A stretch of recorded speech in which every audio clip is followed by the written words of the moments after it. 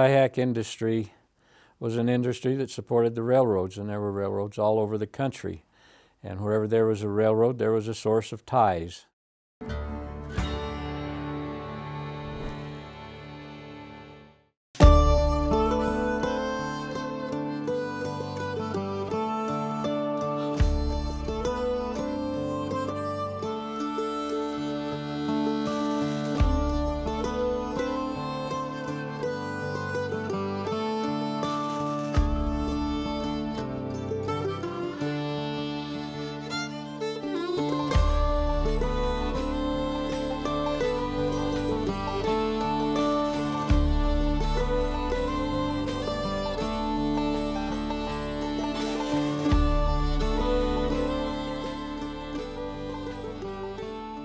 In the early 1800s, the United States, still in its infancy, relied on the development of the railway system as a key player in its industrial revolution, and later in its expansion west. Railways became the lifeblood of the nation. They determined what industries would succeed, where population centers would emerge, and drove the country's economy. Wyoming emerged as a microcosm of this model with the completion of the Transcontinental Railroad in 1869, Wyoming was now an important industrial hub. With a way to transport them, agricultural and mineral resources in Wyoming became viable industries and people came. A rail system is very interesting. It sits on a, a bed of crushed rock. The ties are laid in that crushed rock and then the rails are set upon the ties and rails were spiked to the ties. And so that entire system floated on the crushed rock bed. Starting in roughly 1915, the area around DuBois began to be harvested for ties. The men who cut these ties were known as tie hacks. Many of the men who came were from Scandinavia, The company that started the tie hack industry eventually became known as the Wyoming Tie and Timber Company. And their headquarters were in Riverton, Wyoming. But the work was all up here in the mountains west of DuBois in both the Absaroka and Wind River Range. These railroad ties went to the uh, Chicago and Burlington and Quincy Railroad and eventually the Chicago and Northwestern Railroads because those were the railroads that were up here in this country. A railroad tie had to be, for the most part, eight feet long and eight inches square. And the early requirements for that tie was that it be flat on two sides. The reason for that was flat so that it stayed on the ground, and uh, the other opposite side was so that the rails could be put on it.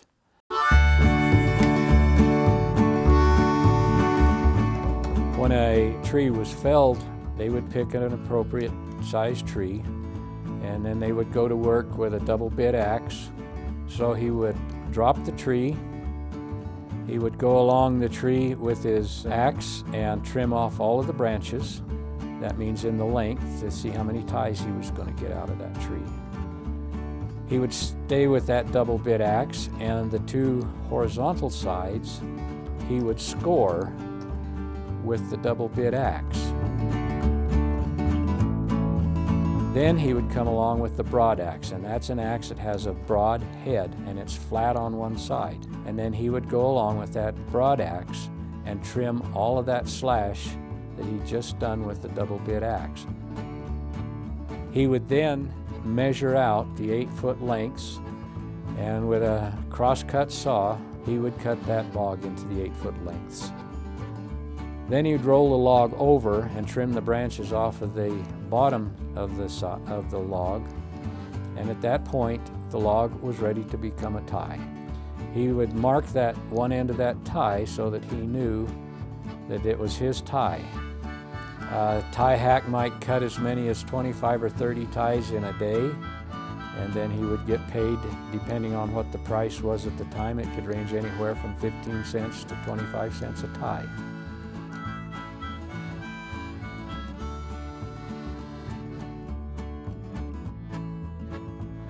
So from 1915 till the late 20s, most of the ties were cut by hand.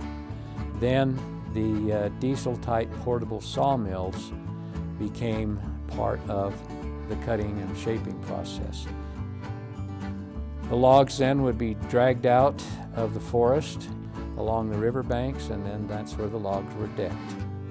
Decking was stacking the logs with the uh, butts of the logs facing the river, and those stacks could be 15 or 20 feet high, side by side, all the way along the riverbank where they would gather those, those ties.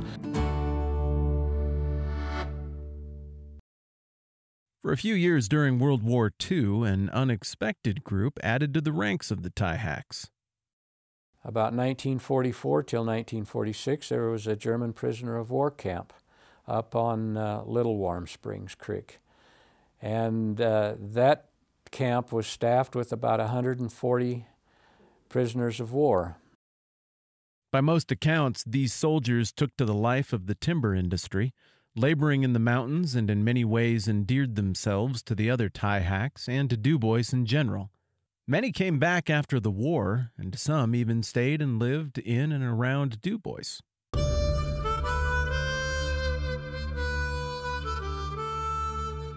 The ties didn't go in the river until the river crested, which was about the middle of June.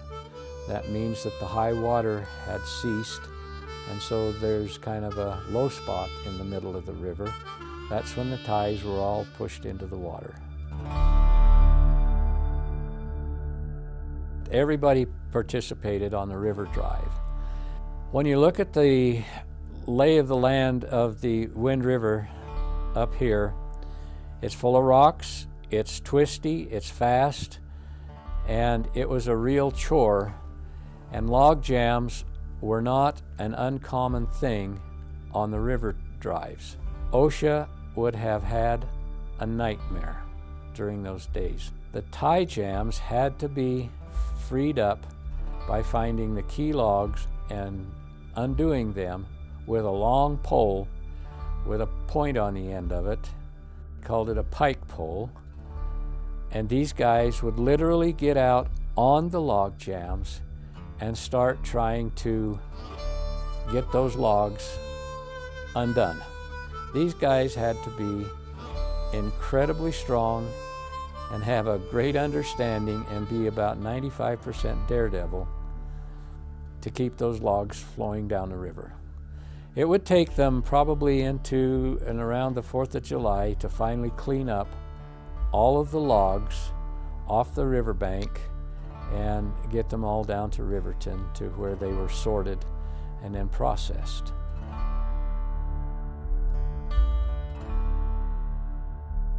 Du Bois celebrates its tie drive legacy in many ways. They hold Swedish style smorgasbords to commemorate the big meal that the tie hacks had after the tie drive was over. They also use the very same Dutch ovens that fed the tie camps for various celebrations. Riverton has remnants of the tie drive influence as well. The treatment and sorting plant is no longer there, but a Rails to Trails project allows pedestrians to visit the site. Also, in the Riverton Cemetery is a plot dedicated to the tie hacks who were so important to the area. 32 tie hacks have been laid to rest in this plot, with a hand hewn tie memorial to their contributions. It was uh, almost a 24/7, 365 job because it was it was that critical to the to the railroads, especially during the war years. It wasn't an easy day, but it was a day that all of them liked, or they wouldn't have been here.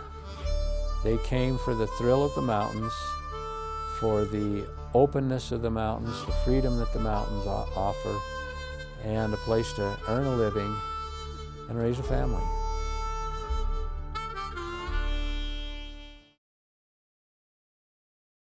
We are sitting in the room uh, where the first government in the world gave women the right to vote.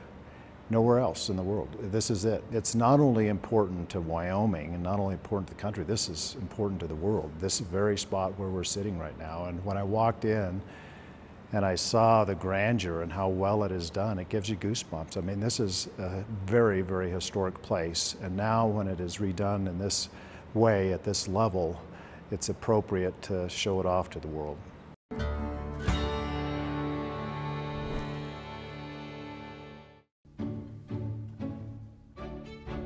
My name is Tony Ross, and I am chairman of the Capitol Oversight Committee, which is in charge of the complete renovation of the Capitol complex, including, most importantly, the Capitol.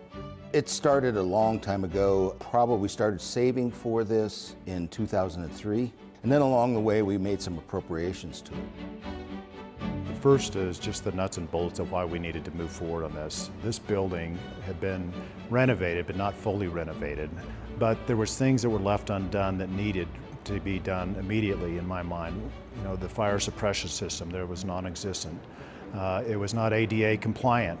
So I think those were two immediate needs, but of course it's, it's much more than that. I mean, this is the most important building in my mind in, in Wyoming, and it represents not just government, but it represents what the state of Wyoming is all about. And it needed refreshed and it needed redone.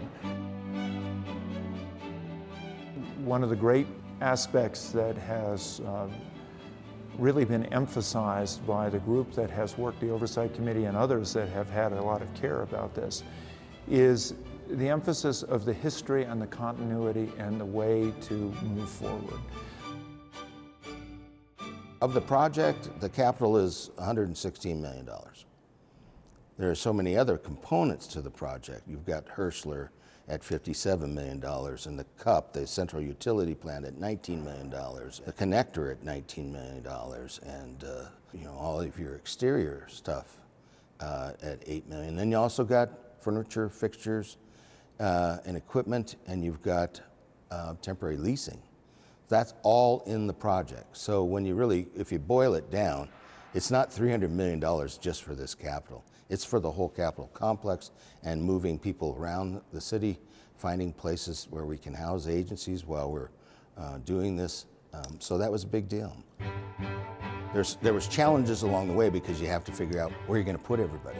Government offices were housed all over Cheyenne, and there was a discontinuity uh, over the last several years. At times you're wondering, what's the solution? And we were very lucky that we were able to kind of fall into the Herschler. Turned out to be rather miraculous what we've done. Central utility plant was out of date. The boilers were way over their extended life and there was no efficiencies to them. It's now state of the art and it supplies cooling and heating for five different buildings. The Herschler building and the connector, the Capitol, the Supreme Court, the Barrett building, and the Hathaway building are all uh, tied in to this central utility plant. I think the initial thought about revamping the Capitol came about at a time when the state was pretty flush.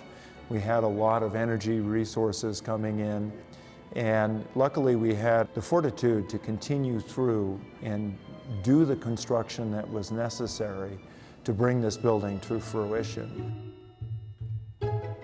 I was the primary sponsor of the legislation. It was Senate File 103.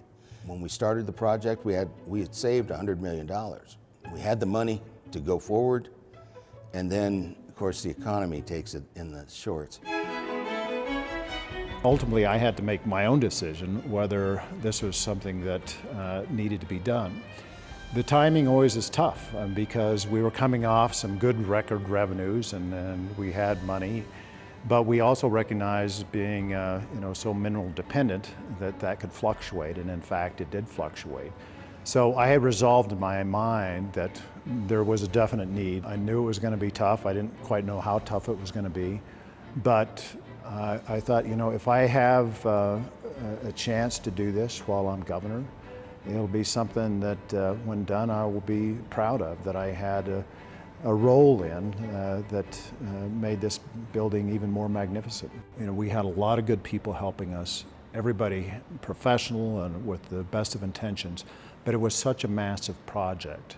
And what we lacked was the great expertise of who has done this, who has managed a project of this magnitude, not just square footage, but an actual capital. And, and that was MOCA. they changed the paradigm of the whole project because they had done other capitals. And so they represented us as just layman legislators and to, um, to make sure that we got this project done right. They brought it all together and they showed us where we had made mistakes. Uh, they showed us a direction forward, how to manage the budget.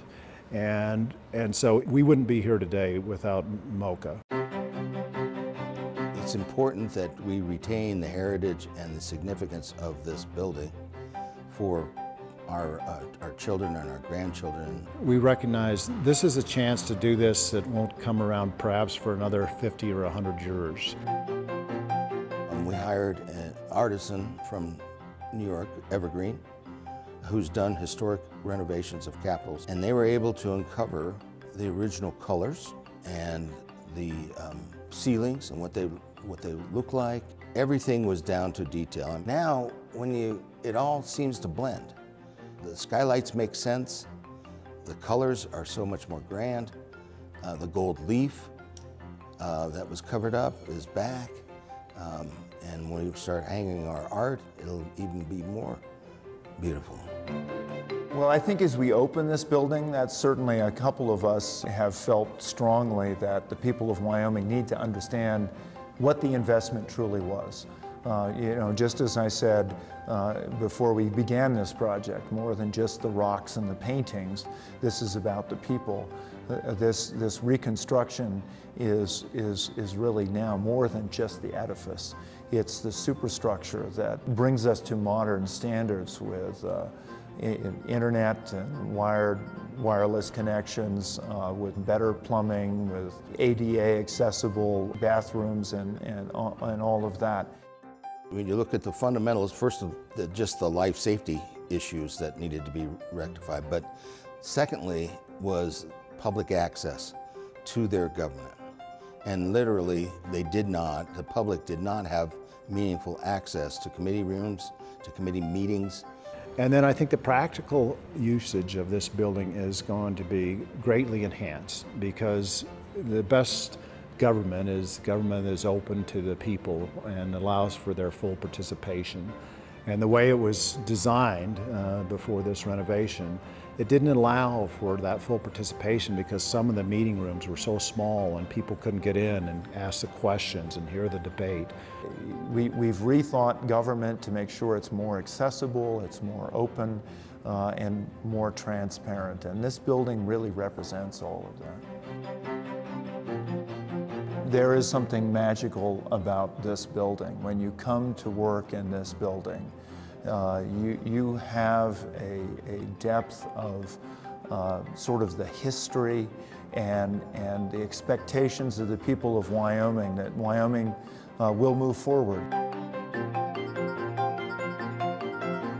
I hope they have a great sense of pride in their uh, state house, in their capital, and also a great appreciation for the utilization that allows for full participation by the citizens in their government.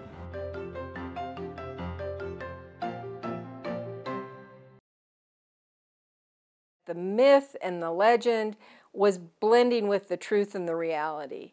And so he, uh, he became a horse that almost everyone in Wyoming could recognize as having this fiery spirit, never give up, always do what your job was and do it really well. And and for him, his job was bucking, and he did that very well. And he actually represented the state really well. The horse became synonymous with Wyoming.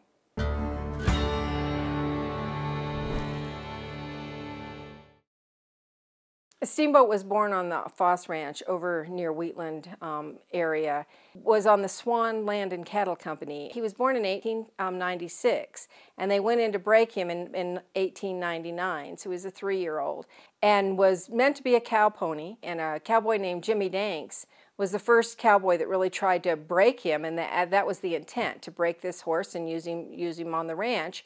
He talks about the first time that he tried to ride him. He rode him in the corral three or four times. And then he said, okay, we're going to basically, well, let's open the gate let's see what happens. And they opened the gate, and the horse just took off and, and was bucking all over the place. And I didn't get bucked off. He actually did ride him, got him back to the corral. And he said to his friend Sloan, yeah, I thought you were going to haze for him. And he says, Well, I was too busy watching the horse buck. So, I mean, that's really when he first made his reputation. He was very strong. He was a Percheron um, stud and a Mexican um, hot-blooded mare, so he was kind of wiry but really strong. And Jimmy Dank said he liked a buck. That was his business. That's what he wanted to do. And so they would do these wagers. I mean, that's what cowboys did. You know, in the evenings or something, it's like, hey, we got a rank one for you, and so let's see who can ride him.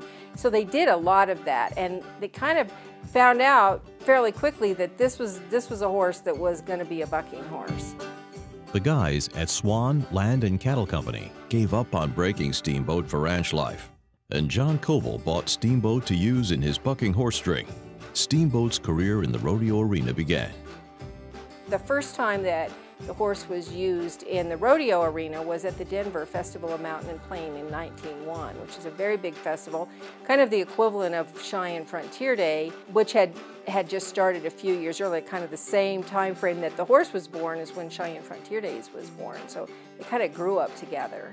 So John Coble would bring his bucking string there. And then ultimately Charles B. Irwin obtained Steamboat and used him in the rodeo arena there in Cheyenne as well. So the early rodeos in this 1900s era, they didn't ride for eight seconds. They rode until the horse stopped bucking. And Steamboat would buck and buck and buck for a minute or so, and then he'd stop and catch his breath, and then he'd buck again. And he had, when they had castrated him and back on the ranch, they had broken a nose bone and they took it out, they cut it out, a guy um, cut it out, and it caused him to whistle kind of when he would breathe hard, he would whistle. And they, that's how he got the name Steamboat. And Jimmy Danks is the one that named him Steamboat for that whistling sound. Steamboat and his whistle took the riders by storm. He could be ridden, but it took a special cowboy making a special ride to stay on the now infamous bucking bronco. And the cowboys who rode him, the ones that were we have documented that, that spoke about the ride always said he just came down like a pile driver and he was because he was so strong. And then when he would buck he would buck really hard and he would twist and he wouldn't stop. Steamboat continued to make his mark growing in popularity just as the cheyenne frontier days developed into a premier event. At the time this was the early 1900s there was no world championship saddle bronc riding competition. So if you won Cheyenne, you were considered the world's champion. That's just the way that it worked back in, in that time frame. They wouldn't use Steamboat, though, in the preliminary rounds because he was such a good bucking horse that most of the guys couldn't ride him and they would just be disqualified even though they were very good cowboys. So they usually kept Steamboat until the championship round. And then the cowboy that drew him, if he could ride him, would almost always win. Steamboat's legend grew. Newspapers loved to give him nicknames including Twister and King of the Hurricane Deck, Outlaw Horse, and the Horse That Couldn't Be Rode. In his career, Steamboat threw many of the best riders in the world, and those that were lucky enough to ride him had bragging rights few could claim.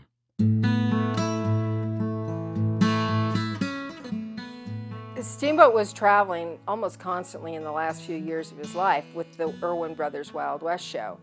And in 1914, he was out in Utah in Salt Lake City at a show and got with, he was in another pen of horses and they got into some wire and he got cut pretty badly with some wire. They put him on the train and brought him back to Cheyenne. By the time he got to Cheyenne, he had blood poisoning and they knew they weren't going to be able to save the horse. And so they took him, the story goes, that they took him down to the Cheyenne um, Frontier Days arena and they used a, a gun that had belonged to Tom Horn, but that at that time belonged to Charlie Irwin. And they used that gun to put him down. And then the story goes, if you like legend, that he was buried at the old Frontier Park. But most people would say that he was taken out to the Cheyenne City dump and that's where his body was disposed of. But he was such a famous horse and everyone knew him that there was actually an obituary for him in the Cheyenne Leader. So, I mean, you don't always see an obituary about a horse, but this horse was so famous in Wyoming that, and, and around the West, but certainly in Wyoming, that they actually wrote a very nice obituary about him and they talked a lot about his history and where he'd been born and what he had done and his achievements, just like you'd write about an important person. They wrote about this horse.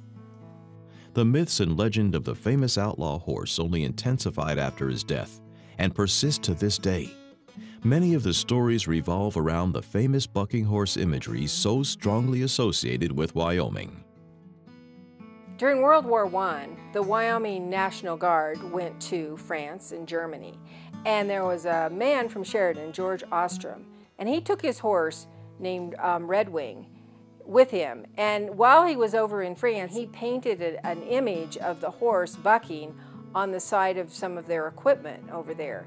So that really was the first symbol of a bucking horse that represented Wyoming.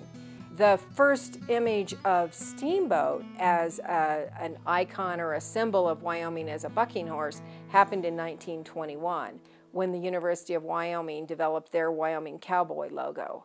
And they used the BC Buffum photo that had been taken in 1903 of Guy Holt for that image. And then when you jump forward, you know, couple decades, you come into 1936 and Lester C. Hunt was the Secretary of State in Wyoming. He wanted to use that Wyoming bucking horse as a logo and put it on our license plate. And he had Allen True, who was an artist in Denver, draw an image that then was put on the Wyoming um, license plate in 1936. And there's all these stories about cowboys who or the cowboy on the on the license plate or the horse that's on the license plate. And Allen True himself said that he didn't use any particular cowboy. When you go around the state of Wyoming, you will hear um, different areas of the state, people living in different areas, have their preference or their idea of who's who is the rider on the license plate.